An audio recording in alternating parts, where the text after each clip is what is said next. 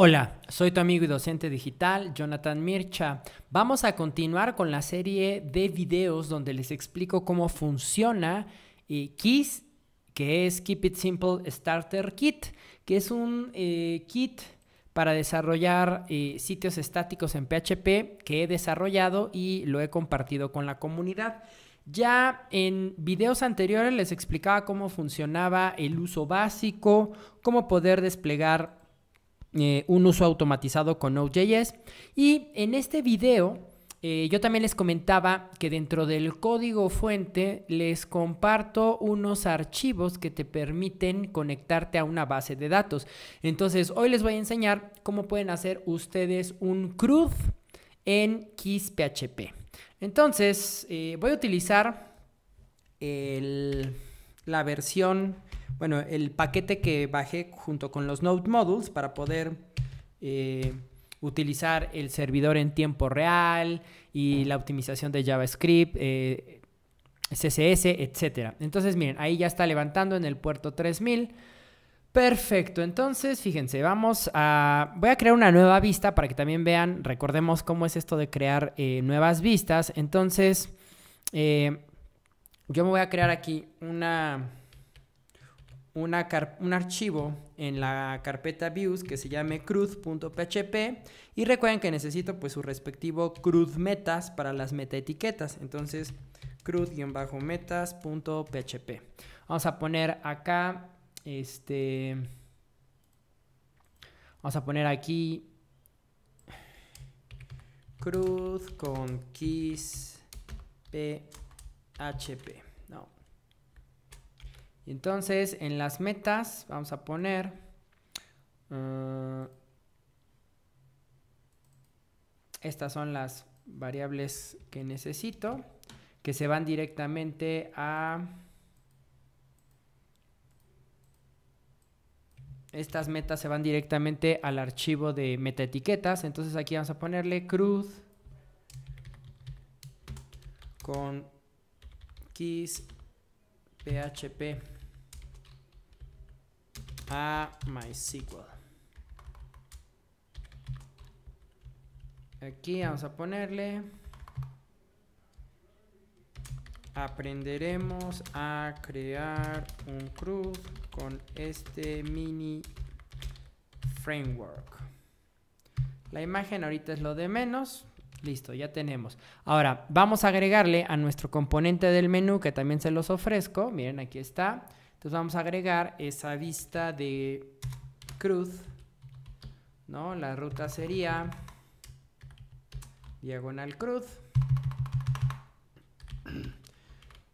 Y si nos vamos a nuestro navegador web, miren, ya está actualizado. Y aquí está, cruz con keys PHP. Perfecto, ya tenemos todo lo necesario. Ahora, Vean que hay una carpeta que se llama store. Ahí está el archivo config donde convive pues toda la parte de nuestra... Eh, de la configuración de la aplicación y miren que también los datos para conectarte a la base de datos. Ahora recuerden que en este config viene eh, pues estamos en, environment o en entorno de desarrollo por dev, entonces va a tomar esta cadena. Ahorita van a ver las, las funciones que tengo para conectar para hacer, y para hacer CRUD, utilizan PDO, entonces eh, del PDO necesita así la cadena de conexión. Entonces fíjense, aquí dice que se va a conectar a una base de datos que se llama KISS.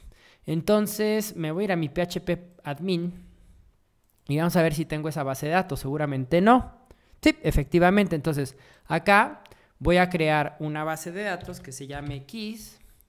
La creamos, ya está creada. Vamos a hacer un cruz eh, muy sencillito. Eh, por ejemplo, vamos a decir que este, mm, vamos a crear una tabla que esté guardando categorías, ¿no? Por ejemplo, categoría frontend, categoría backend, categoría JavaScript, etcétera. Piensen, no sé, en un blog de tecnología. Entonces, vamos a crear, yo la voy a crear con eh, código SQL para que sea más fácil. Eh, miren, por acá, de una vez ya pego el código. Miren, eh, la tabla se llama categories, tiene un un campo que se llama catID, es entero, sin signo, autoincremental y es la llave primaria. Posteriormente, un parámetro catName con un varchar de 255, not null, y pues el engine es una tabla INODB y el juego de caracteres UTF-8. Entonces aquí le doy continuar y ya tengo creada mi base de datos. Eh, mi base de datos y una tabla. En esa tabla es en la que voy a ir haciendo el CRUD. Perfecto. Entonces acá mm, tengo que poner el usuario es root en mi localhost. Recuerden que yo estoy en Ubuntu. Entonces acá el password eh, no está vacío. Tiene mi password es keywordty. Y entonces aquí ya pues mi host de MySQL es localhost. Y acá la base de datos keys. Estos son para en el caso de que ustedes este, pues estén también en producción. Pongan ahí las cadenas de conexión. Perfecto. Por el archivo config.php es todo. Ya no necesito hacer más cosas. Vamos a ir cerrando lo que no necesitamos. Y ahora eh, vean que hay un archivo en la carpeta store que se llama db.php. Perfecto. Ah, vean que eh, ese archivo, recuerden que otra de las características de este micro framework y que tiene que ver también un poco con, toda esta filosofía eh, de la que trato de vivir día a día, que es el esencialismo, es decir, menos cosas pero mejores menos pero mejor, esa es la, filosofía del esencialismo. Eh, acá traté de hacer este micro framework sin ningún paradigma, es decir, si se dan cuenta, hasta ahorita solamente he utilizado conceptos básicos de programación como las variables, los includes y las funciones. Digamos que hasta cierto punto pues es un framework funcional. Entonces vean que tengo tres funciones. La función dbconnect es pues justamente, miren, la que eh, ejecuta la conexión mediante PDO establece el juego de caracteres UTF-8, por si tengo por ahí caracteres ajenos al inglés en, los, en, los, valores de los registros de las tablas, bueno, no haya ningún problema. Aquí estoy guardando la cadena de conexión al host, el usuario y el password. Esto obviamente se lo está trayendo del config.php y miren que en un try catch, pues aquí ejecuto la conexión, ¿no? Es un objeto de tipo PDO, necesita estos datos y en caso de que haya un error, capturo esa excepción y mando ya un array, ¿no? Configurado para que me diga qué tipo de error y el mensaje. ¿Sí? Entonces, fíjense, por ejemplo, si yo ahorita acá, eh, vamos a ver qué pasa si yo en mi vista ejecuto la función dbconnect dbconnect, pero vamos a ejecutarla dentro de un bar dump para, ver, para ver cuál es la, respuesta del, eh, del servidor, ¿no? Y para que todo lo que me imprima eh, me lo indente, vamos a ponerlo en etiqueta pre. Ahí está. Y etiqueta pre que cierra. Perfecto, vamos a ver qué me dice el navegador. Miren, Object PDO 0. Eso significa que pues no ha habido ningún error, todo está correcto y eh, se está ejecutando la conexión. Ahora, ¿cómo me puedo equivocar para lanzar un error? Pues simplemente vámonos al config, equivoquémonos ya sea en mi password, en mi usuario o en la base de datos. Y miren, ahí está ese arreglo de conexión, error true código 1045 y el error que me devuelve MySQL es acceso denegado al usuario root3 arroba localhost. Entonces ahí estamos viendo que efectivamente esa función dbconnect que yo ya les he proporcionado funciona para la conexión y su respectivo error. Esta ustedes no le tienen que hacer absolutamente nada. Las funciones con las que ustedes van a estar trabajando van a ser dbaffect y dbsearch. Como su nombre lo dice, dbaffect nos va a servir para las operaciones del CRUD que afectan datos, es decir, para el create, para el update, para el delete.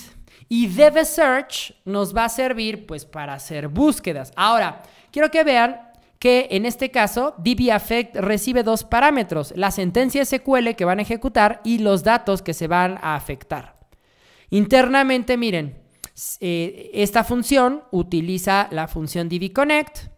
eh, prepara la sentencia, porque así lo necesita PDO, luego la ejecuta y en PDO, como cuando te conectas vía PDO a, una base de datos con PHP como tal, no hay un método para cerrar la base de datos. Para cerrar la conexión a la base de datos, simplemente la variable donde creaste la conexión la igualas a nulo y eso sería igual a un MySQL e.close. Bueno, flechita close. ¿No? Entonces, bueno, aquí estoy ejecutando el query y aquí miren, estoy trayéndome el resultado de ese query. Si esto fue verdadero, entonces mando un arreglo. ¿Por qué lo mando en, en formato de arreglo asociativo? Porque, por ejemplo, si tú la intención también es que con este microframework puedas hacer APIs, ¿no? Entonces, si tú eh, estructuras en arreglos asociativos de PHP, si tú consultas esto vía Ajax, ¿no? Vía JavaScript asíncronamente, pues tú simplemente a la respuesta que te da ese Ajax, tú la conviertes a, le, haces un string, eh, perdón, un este, JSON.parse, la conviertes a formato JSON y entonces este arreglo asociativo en JavaScript te quedaría como un archivo JSON, como un objeto JSON. Por eso es que estoy estructurando en arreglos asociativos para que en el pues también le podamos sacar provecho. Entonces vean que si el query se ejecuta, mando el parámetro error en falso y un mensaje con operación exitosa. Caso contrario, pues el error a verdadero y un mensaje que diga error al ejecutar la operación. Y retorno pues esa variable de resultado. Esto te va a servir para un este, insert, para un delete, para un update. Vamos a comprobarlo. Entonces, fíjate, acá, ¿qué es lo que tendría que hacer? Pues, eh, fíjense, la función dbAffect necesita, recibe dos parámetros, ¿no? Recibía la... Es más, aquí vamos a ponerle como comentario, el, vamos a hacer el create, ¿no? Entonces, recordemos, nos pedía la variable SQL y los datos, los datos tienen que ser en un formato de arreglo asociativo. Ah, entonces, fíjense, por acá vamos a decirle que vamos a ejecutar esto de la siguiente manera. Por ejemplo, eh, acá le vamos a decir en mi vista cruz, ¿no? Vamos a ejecutar, primero vamos a crear aquí una sentencia SQL y posteriormente vamos a ejecutar vamos a crear una variable de datos. Entonces, fíjense, acá vamos a decirle data va a ser igual a eh, un array. Esto podría venir de un formulario por get, por post. Ahorita no estoy metiéndome con formularios, simplemente les estoy enseñando cómo funcionan las, las funciones que yo les ofrezco en este micro framework para eh, hacer cruz. Pero esto puede venir ya de una interfaz más compleja. Ahorita lo voy a hacer directo aquí con código PHP, eh, ¿no? Entonces, fíjense, aquí, eh, por ejemplo, la sentencia sería insert into, ¿cómo se llamaba nuestra tabla? No me acuerdo, vamos a ver. La tabla se llama categories. La tabla se llama categories. Y es cat ID, cat name. El cat ID es autonumérico. Entonces están de acuerdo que al ser autonumérico, pues no necesito mandarle el, valor. Entonces sería insert into eh, categories. Y aquí, perdón, insert into categories y vamos a poner values. Y aquí, eh, pues es simplemente poner, ah, y como no voy a poner los dos valores, sino nada más el cat name, pues vamos a ponerle aquí cat name.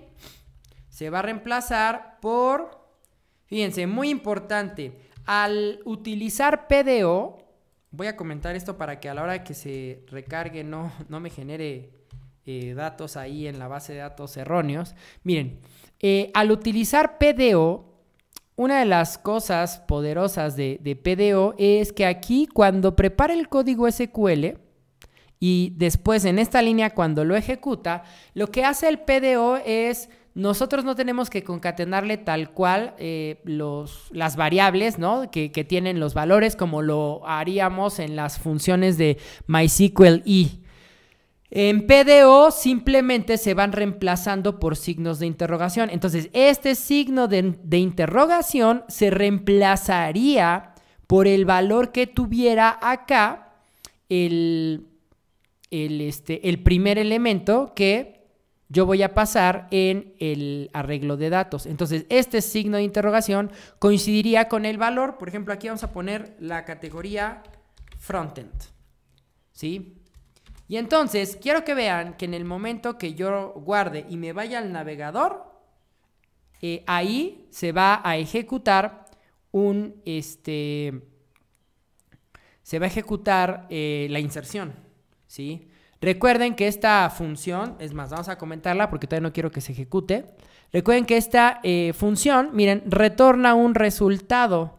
Entonces, me va a retornar este objeto. Entonces, miren, yo podría guardar esta, esa, esa, ejecución en una variable que se llame insert, porque es lo que estamos haciendo. Estamos haciendo el, bueno, no, create, ¿no? Create, que es este, create, read, eh, delete, update, ¿no? Y entonces acá, miren, vamos a poner un bar dump a esa variable create. Pero antes de hacerlo, quiero corroborar que con los guardados automáticos que ha hecho no, no se haya generado ningún registro. ¿No? Miren, no se ha generado ningún registro. Entonces ahora sí, fíjense. Eh, acá vamos a descomentar, se va a ejecutar y acá voy a imprimir el resultado. Entonces, create. Vamos a ver qué pasa. Nos vamos al navegador. Miren, acá regresó, acá en el... Recuerden que ahorita estoy ejecutándolo de manera automática con el, las tareas de Gulp y Node.js. Entonces a cada cambio se actualiza el navegador. Vean que ya se hizo una inserción. El error está en falso y dice que la operación fue exitosa. Vamos a ver si es cierto. Vamos a recargar aquí la interfaz del PHP MyAdmin. Y miren, efectivamente, 1 Forntent. Me equivoqué ahí. Bueno, al ratito lo actualizamos. ¿sí? Ahora, quiero que vean que si yo cometo un error, por ejemplo, insert to, pues ahí me tendría que mandar un error de que algo está mal. Vamos a ver. Miren, error true Error al ejecutar la operación. Entonces vean cómo esa pequeña función incluso les va a mandar mensajes de error cuando su código SQL pues tenga errores de sintaxis, ¿no?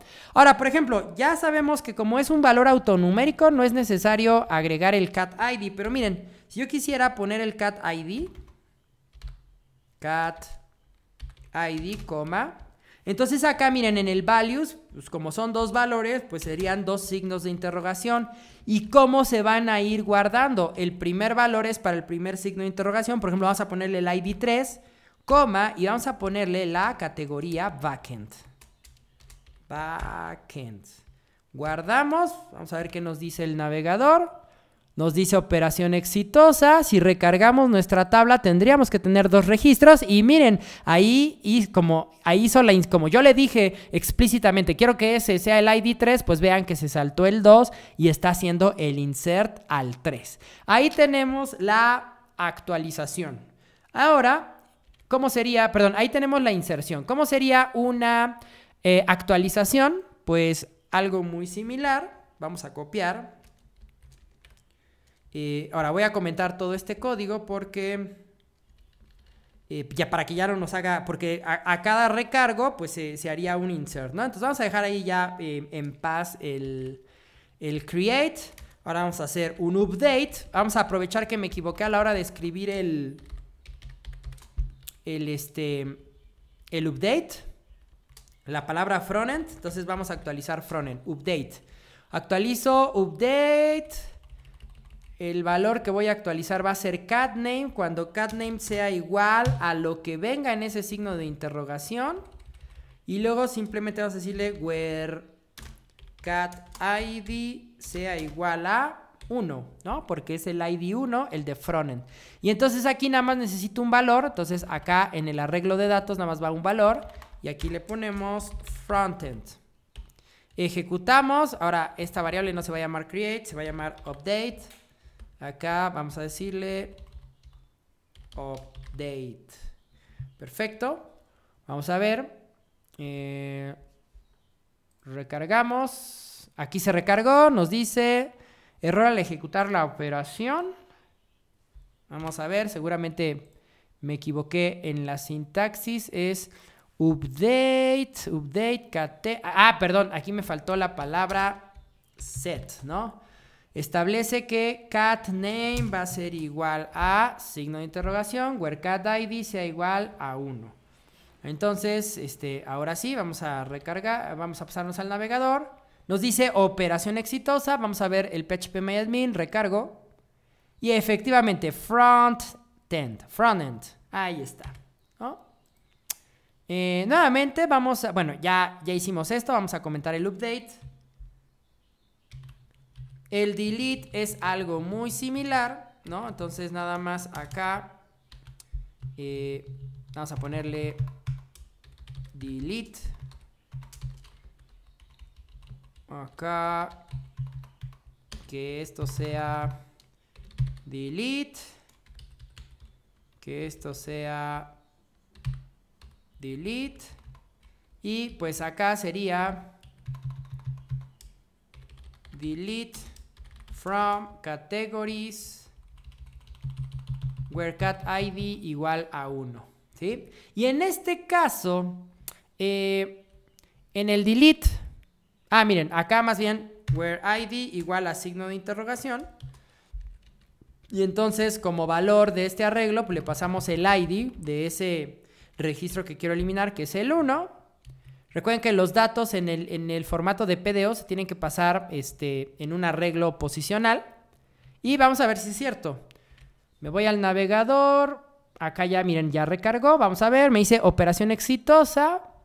Y por acá vamos a ver recargo y nada más deberíamos tener backend. Ahí está. Hemos hecho el create, el update y el delete en una patada literalmente. Ahora, ¿Qué pasa cuando yo quiero consultar datos? Para consultar, vamos a volver a crear otra categoría para que sean al menos dos registros los que nos traigamos. Entonces vamos a descomentar el, el create. Vamos a descomentar el create un momento. Vamos a crear una nueva categoría que se llame este desarrollo móvil y que sea el ID 4, ¿no? Recargamos, por acá nos dice operación exitosa, vamos a ver si es cierto, recargo y miren, ya tengo categoría 3 backend, categoría 4 desarrollo móvil, perfecto, ya tengo al menos dos registros, es más, vamos a hacer otro, vamos a poner otra vez a frontend, frontend, ahí está, guardo, recargo, y ahí está, categoría 5, frontend. Perfecto, ya tengo eh, al menos tres registros. Ahora, entonces vean que esta función DB Affect que yo ya los ofrezco, ya, ya les acabo de enseñar cómo funciona. Solamente tienen que pasar los, eh, la sintaxis SQL con los datos, con signos de interrogación y luego en el orden en que los necesiten, definidos en la variable data en un arreglo posicional, separados por comas. Así funciona la, función dbaffect que nos permite hacer creates, updates y deletes. Ahora, ¿cómo leo datos? Vean que para eso les he creado una función que se llama dbsearch. Ahora, vean que dbsearch requiere una, eh, la sentencia SQL. Luego, fíjense que trae una variable, antes de los datos, trae una variable que se llama all y que está igualada a true. Si ustedes omiten este, el segundo parámetro, significa que all es en true. ¿Para qué les proporciono esta, este segundo parámetro? Pues justamente, recuerden que cuando nosotros consultamos datos, seguramente tenemos dos opciones. Queremos a lo mejor buscar un dato en particular o buscar todos los datos. Entonces, si ustedes quieren buscar todos los datos, tienen que ejecutar la función dbSearch con el valor de all a true, ¿no? Y ya les va a traer todos los registros de su consulta. Pero si ustedes quieren traer solo un registro, como muchas veces necesitamos, por ejemplo, para editar, entonces solamente eh, aquí el segundo parámetro tendría que ir en false Ahora, aquí lo que estoy haciendo es, eh, si ustedes no le especifican al parámetro, pues en automático lo estoy igualando a true. Y si efectivamente tú lo igualas a false, el segundo parámetro significa que quieres hacer una consulta de un solo registro y el tercer parámetro pues sería pues el condicional con el que quieres guardar, con el que quieres buscar. Y analicemos la estructura de la función, se conecta, prepara la sentencia, la ejecuta. Si el resultado es verdadero, entonces miren, primero valida, ok, eh, la variable all es verdadera, entonces ejecutas un fetch all, que es el método de conexión mediante PDO que te va a permitir traerte todos los registros. Caso contrario, si all es false, entonces ejecuta el método fetch de la clase PDO. ¿Dónde pueden ustedes consultar más información de esto antes de continuar? Si se van a la documentación de php.net y acá buscan PDO, miren, aquí viene toda la información Incluso vean que por aquí vamos a ver esto, miren, fetch, fetch all, obtiene la siguiente fila de un conjunto de resultados, devuelve un array que contiene todas las filas, ¿sí? Entonces, en la documentación de PHP, ahí van a ustedes poder encontrar toda la información necesaria para poder eh, trabajar con esta eh, forma de conexión a la base de datos mediante eh, PDO. PDO es una de las eh, formas eh, recomendables actualmente de conectarte a una base de datos y PDO tiene soporte para los diferentes motores de, bases de datos como MySQL, Oracle, SQL Server, Postgres, etc. ¿Y qué es PDO? Pues objetos de datos en PHP, PHP, eh, Data Objects. Es como el JSON de JavaScript, algo así es el PDO para PHP. ¿Sí? Entonces, fíjense que pues gracias a eso eh, ejecuta todos o uno solo. Y de igual manera, si tu query eh, por algún detalle eh, devuelve un error, entonces acá yo también te mando un arreglo con el respectivo error. Después cierro la conexión y retorno el resultado. Entonces fíjense, vamos a ver cómo podría yo leer. Fíjense, acá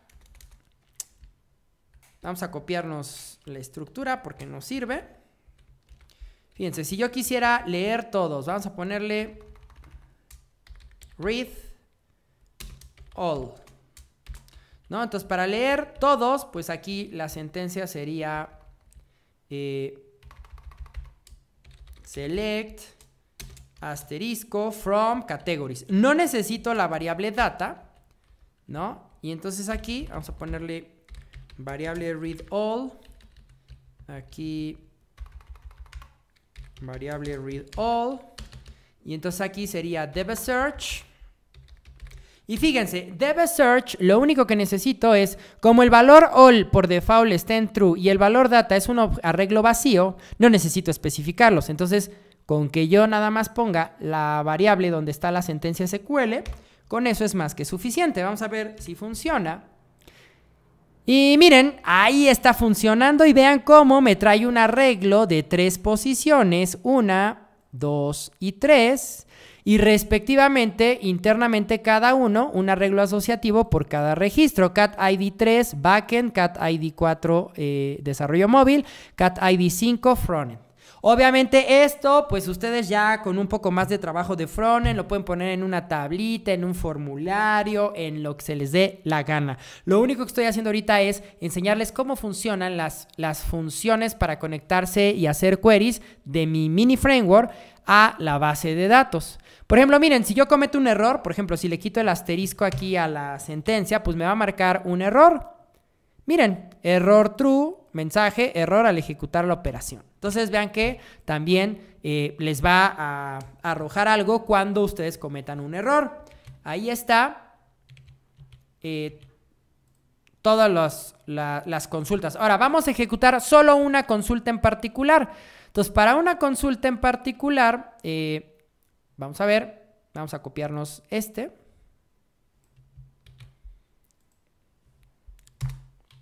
Aquí vamos a poner un, en un eco, vamos a poner una línea horizontal para que ahí veamos la división. Y entonces fíjense, read one. Para leer uno solo, pues aquí necesitamos where cat id sea igual a algo. Aquí, pues obviamente si necesitamos nuestra variable data, y vamos a decirle que el valor que estoy buscando es el ID número 5. Luego, eh, ¿cómo utilizamos search para una sola consulta? Miren, el segundo parámetro que es todos, ah, pues en falso y le paso el arreglo de datos. Entonces, nos vamos acá, eh, le decimos segundo parámetro false. Y tercero, los datos están acá. Y a esta variable vamos a decirle read1. Y entonces acá en el bar dump, read1. Guardamos, vámonos al navegador. Y miren, este es el arreglo del read all. Miren, aquí está la línea horizontal y vean cómo acá solamente me trae un registro, el que yo le he dicho, el ID número 5. Y de esa manera, vean que en más o menos, eh, quitando como el tiempo que, no tiene que ver con lo que fui explicando, más o menos en 20 minutos, 25 minutos, les enseñé a ejecutar el, el CRUD de una base de datos con las funciones que he programado y que con mucho gusto les comparto en mi mini framework. Y vean que, o sea, no utilicé un paradigma orientado a objetos, o sea, no tengo una clase. Yo sé que a lo mejor... Eh, eh, dejarlo en funciones, pues a lo mejor no es muy óptimo, pero recuerden que este es un mini framework orientado a ayudarte a hacer sitios estáticos.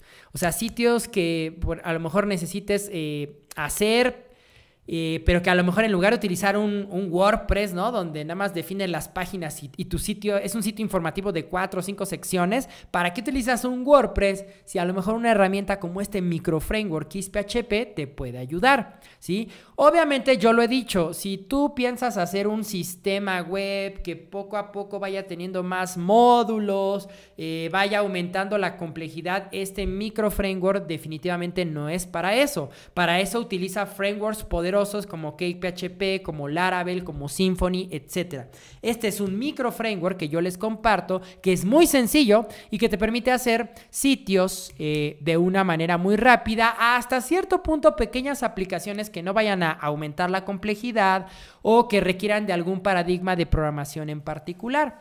Espero que eh, pues este micro framework te sirva para el desarrollo de sitios. De hecho, ya muchos de ustedes me han eh, compartido en los comentarios que ya lo comienzan a utilizar y que pues están encantados. A mí eso pues me emociona mucho porque eh, sé que esto en pequeña o mayor cantidad, pues colabora con la comunidad. Finalmente, eh, pues prácticamente ya con esta serie de videos ya les he explicado cómo funciona KISS-PHP, ya les enseñé a desplegar las tareas automatizadas de Node, a usarlo de manera básica, les expliqué la estructura de cómo están las carpetas y finalmente lo que me faltaba era esta parte del CRUD. Con esto eh, prácticamente ya estaríamos terminados, sin embargo, Voy a detener aquí las, las tareas del servidor porque este, mi sitio web personal, el que está actualmente, eh, está hecho con este micro framework. Entonces, digamos que como para cerrar eh, toda este, esta miniserie eh, que he desarrollado de videos sobre XPHP, les voy a enseñar cómo fui creando este sitio web de johnmircha.com. Les voy a abrir en el editor de código. En el siguiente video vamos a analizar cómo están estructurados los componentes, las conexiones a la base de datos, todo lo que fui haciendo, pues más o menos para que ustedes se den una idea de cómo podrían implementarlo. Y con eso, pues ahora sí estaríamos terminando eh, esta miniserie del micro framework PHP que te sirve para hacer sitios estáticos y pequeñas aplicaciones web. Recuerden que si les gusta el contenido de mi canal en mis redes sociales, eh, se pueden suscribir aquí constantemente. Eh, eh, les, estoy mandando alrededor de una vez por mes un pequeño newsletter con las cosas que hago, algunos cursos que, tengo y, algunas otras eh, cosas que eh, me gustaría que se enteraran de lo que estoy haciendo. De igual manera, si te gustan y me quieres apoyar, me puedes invitar un taco remoto. ¿Qué es esto del taco remoto? Bueno, pues es una... Eh, es un pago que tú haces de la cantidad que tú quieras para yo poder seguir eh, generando este contenido. Bueno, pues yo soy su amigo y docente digital, Jonathan Mircha. Nos vemos en el siguiente video de la serie de X, donde les enseño la estructura de un sitio web hecho con esta herramienta. Sean felices, hasta siempre, bye.